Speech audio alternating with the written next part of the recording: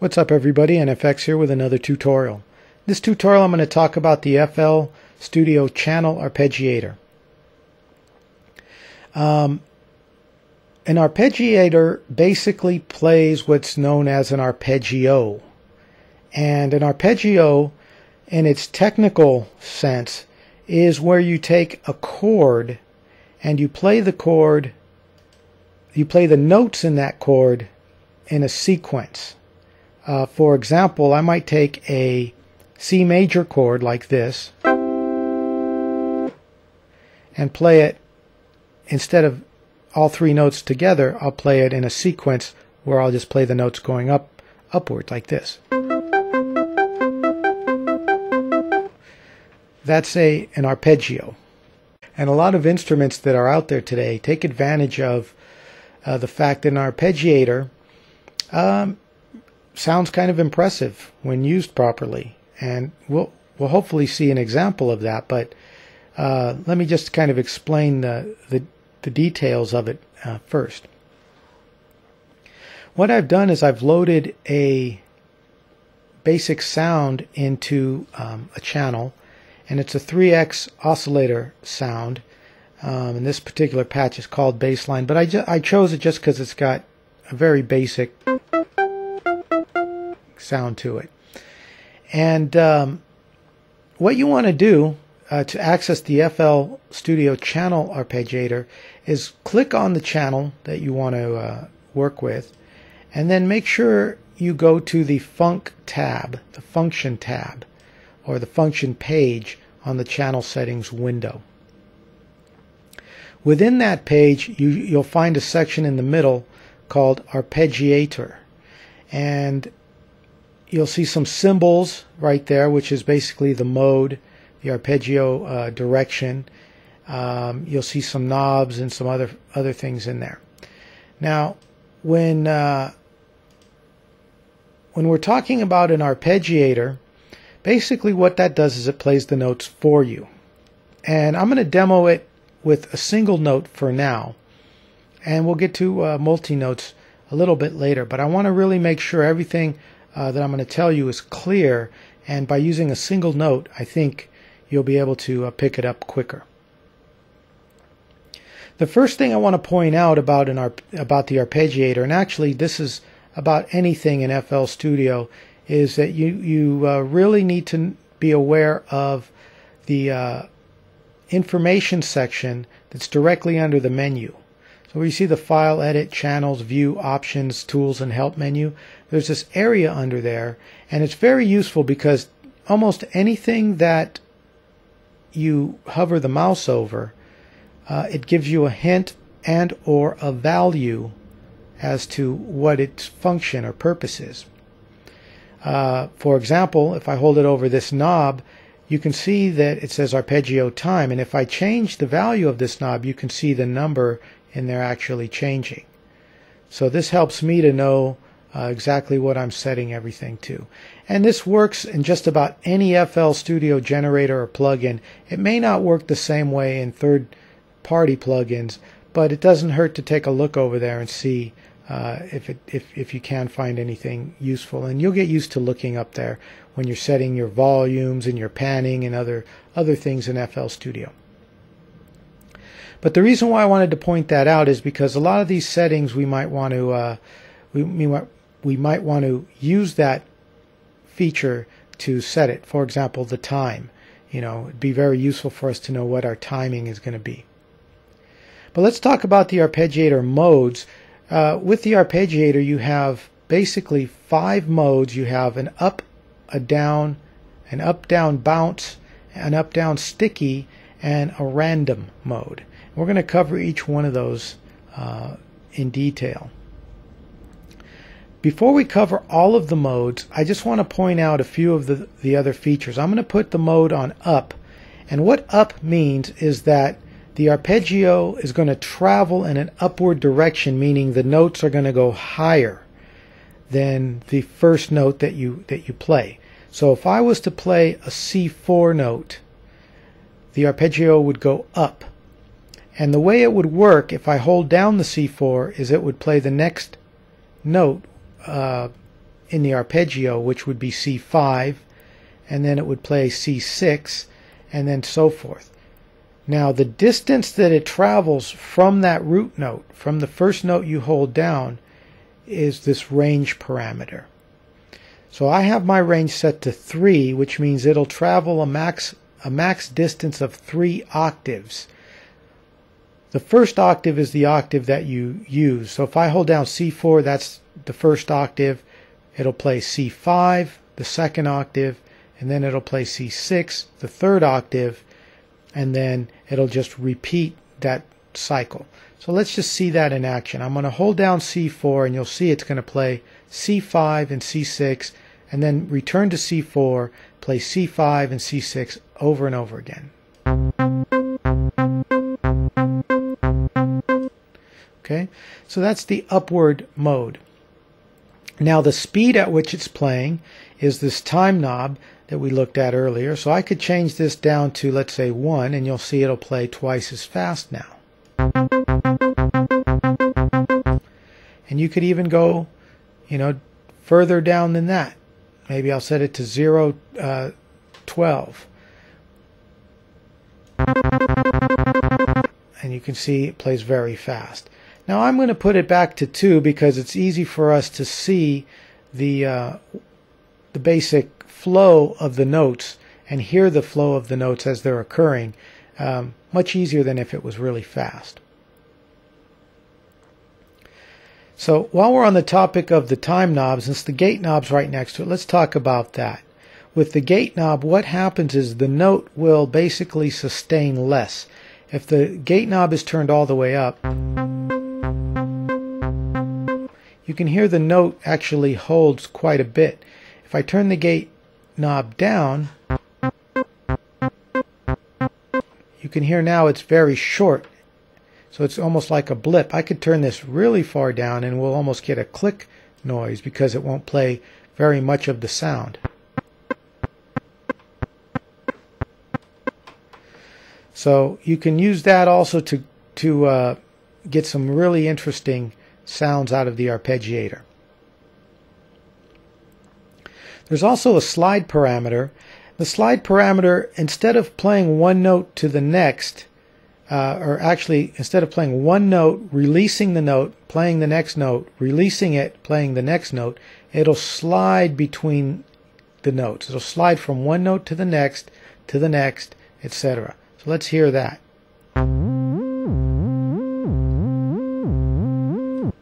So there you hear the, the slide. Now the slide parameter will uh, only work with FL Studio generators. So if you're using it with some third-party uh, thing and it doesn't work, don't be alarmed. It's it's uh, it's just an FL Studio thing.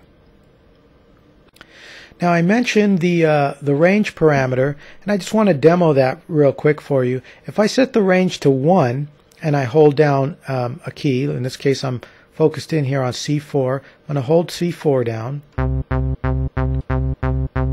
You can see it's only playing C4 over and over because it's only set to play within one octave.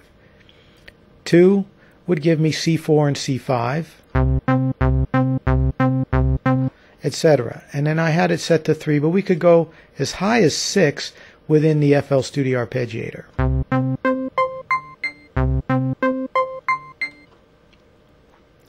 Next to the range knob, let me set this back to 3. Next to the range knob is a repeat knob, a repeat value rather, and this is how many times each note will repeat before moving to the next note.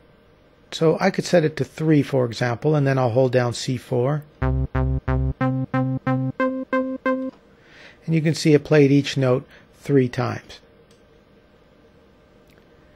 Okay, now below that we have the chord parameter. And the chord parameter right now is set to none. And when it's set to none, it basically means it's just going to play whatever you're holding down. So if I'm holding down a C, it plays a C. I could hold down a D,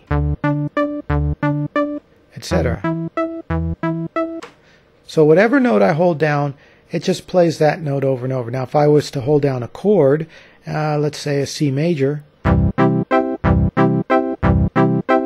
you can see it just plays the C major chord from one octave to the next to the next within our, our, our preset range, and that's all it does. But you can also do some really cool things like actually set a chord, uh, like a major chord. And if I hold down C now, um, for those of you who don't know, a C major chord is the notes C, E, and G. And at the beginning of this tutorial, I held down that chord. But with the help of the arpeggiator, I don't have to hold down the chord for it to play uh, the arpeggio if I don't want to. What I can do is I can just hold down the C and then it'll apply the major chord to it. So I'm going to hold down C and then you're going to see what's going to happen is it's going to play C, E, G in the first octave, then it's going to play C, E, G in the next octave, and so forth throughout our preset range. Now all I did was hold down this one key and it did all that work for me. So you can see now where it's starting to get interesting. And all of the uh, modes that you can pick for the chord don't fit on the screen, unfortunately. But you've got your standard major, minor, some of these uh, other types in here, triads, uh, minor sixth, and I don't know what all these things are. I'm not an expert on chords, but if you are, I'm sure this will make some sense to you.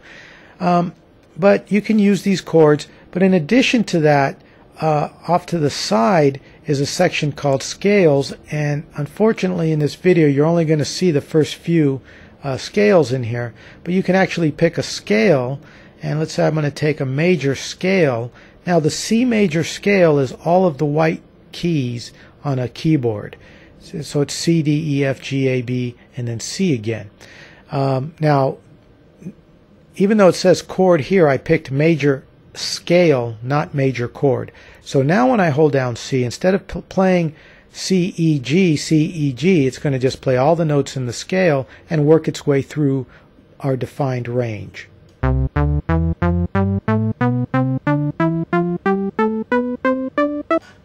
And so forth. Um, so uh, you can do pretty cool things like that. Um, you know, in, in, in, in a way, you, you can even play like, uh, if I set this some, to something lower, you can play kind of like maybe a bass line automatically by just holding down single keys and having it, uh, having it play. So I was just playing C, F, and G, but then the arpeggio was filling in those other notes. So in other words, I was playing and then I was just letting the arpeggiator etc.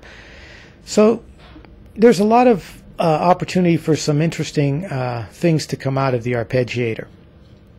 Um, let's go back to the uh, the other modes though. There's a couple modes that, that are listed that I didn't talk about. One is called auto and auto sustain.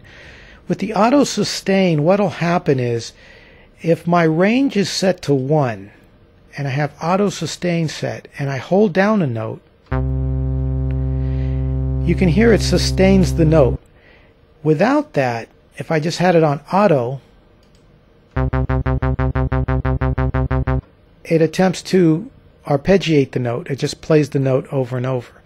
Now, that might be useful uh, in some cases depending on what you want to accomplish. Because if you had it on auto sustain, you could actually play a melody, um, and as long as you're not holding down more than one note, you can uh, you can just play normally. But then when you start holding down more than one note, uh, like if I hold down the C and then the G together, then the arpeggiator kicks in and starts going between the two notes. So that's what auto sustain does. And it really only ma- uh, makes a difference if you're on, on, on a single range. Uh, and then auto, as I said, will just simply play the arpeggio no matter what. Um, now, we've looked at all of the settings that you can use uh, not talking about the specific modes here, the uh, the modes. So let's let's talk about that. We saw we've seen up.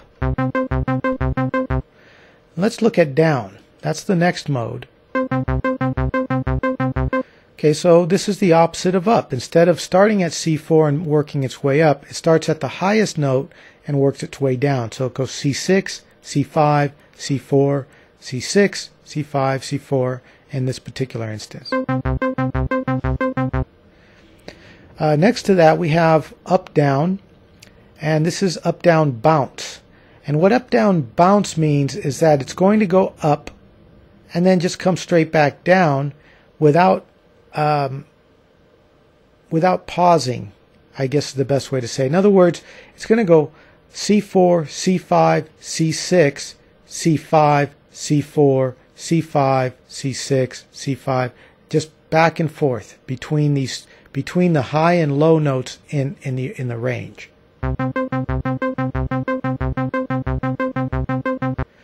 Now the mode next to that's called up down sticky and the difference between this and the last mode is that what it'll do is when it gets to the high note or the low note in the range it'll repeat it. So it'll go C4, C5, C6 and rather than coming back to C5 immediately, it'll just go C6 again, then C5, then C4. And rather than going back up to C5, it'll play C4 again, back up to C5, etc. So it's sticky on the high and the low notes in the scale. And you can see how it hits the C6 twice. Now I'm holding down this note down here so you don't see it blinking but it's also hitting the C4 twice in that particular mode. Then the mode next to that, and the last mode to talk about is the random mode. And in that mode, it basically just picks any note within between the high and low notes in the range, including the high and low notes. So just pick any one of them and play them in a random order.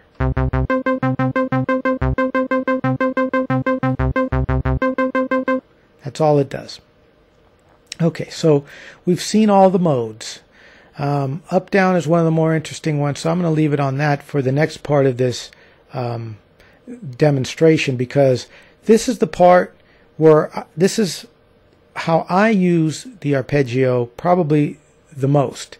And that's in auto mode with maybe a range of three.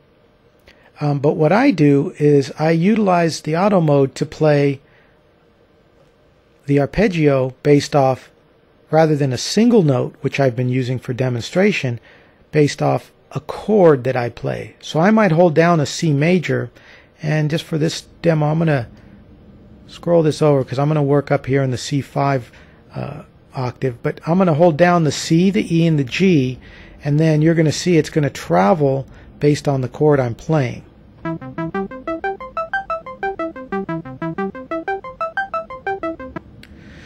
Okay, so the reason why I like this mode the best is because I don't need to use this chord parameter and program what chord I want it to play. I can just hold down the chord I want it to play.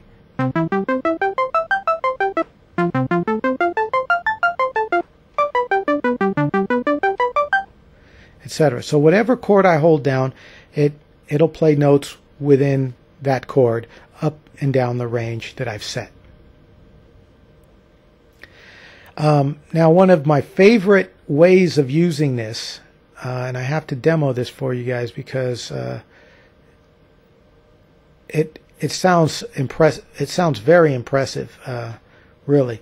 And if you've seen um, one of my other um, tutorials, specifically the tutorial on the uh, Southern style um, Southern style uh, beat recipe, you'll have seen this particular uh, arpeggio in action. So let me go ahead and load that up just to give you a demonstration. Okay, so what I've done is I've loaded up basically a, uh, a string, what is this, a sound font. This is a string sound font. And if I turn off the arpeggio and we listen to it, just your average violin, right?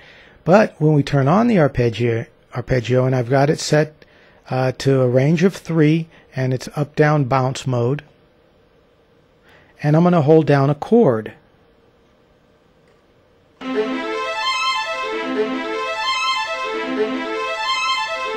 In this case, I'm holding down an A minor chord.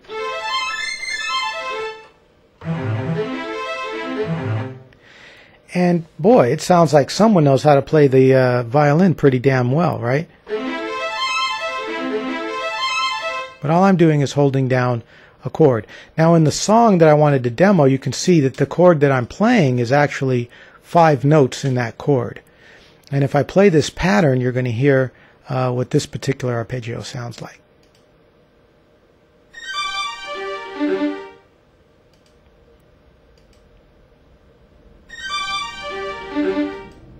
So you can hear that, uh, to me, it sounds very impressive. And then if you want to hear this again in the context of the beat that it's put in, I'll, I'll go ahead and play a little piece of that for you.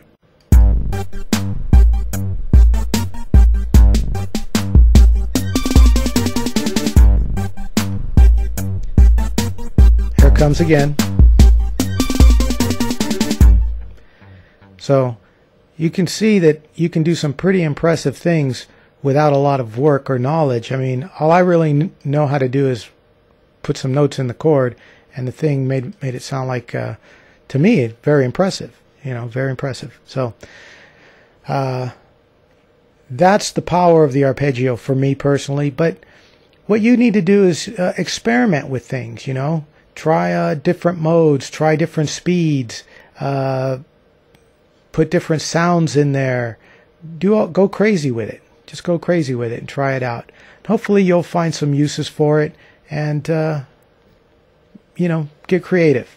Anyway, this is NFX saying I'll catch you guys in the next tutorial.